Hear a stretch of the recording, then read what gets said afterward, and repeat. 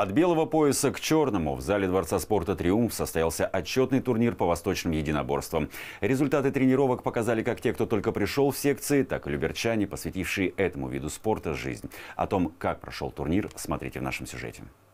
Белый пояс – это уровень чистоты и потенциала. Так считают спортсмены восточных единоборств. Одна из обладательниц статуса новичка, Софья Золотова, карате занимается три года. На отчетном турнире выступает впервые. Самое сложное для меня удар – это защита шуто.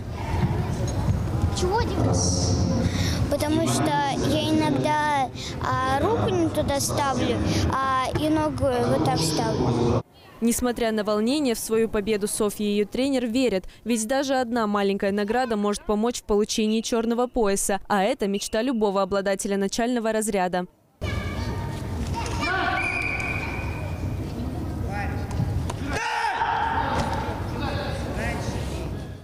Для Леонида Баранникова тернистый путь позади. Для мастера спорта и тренера Люберецкой федерации карате важно, чтобы его ученики получили как можно больше медалей. Свои пожелания Леонид оставил и для новичков.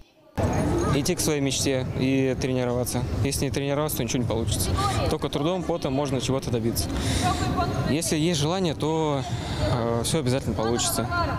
На ежегодном турнире не выступили только спортсмены первого состава, которые находятся в команде сборной Московской области. Они дали дорогу будущему поколению каратистов.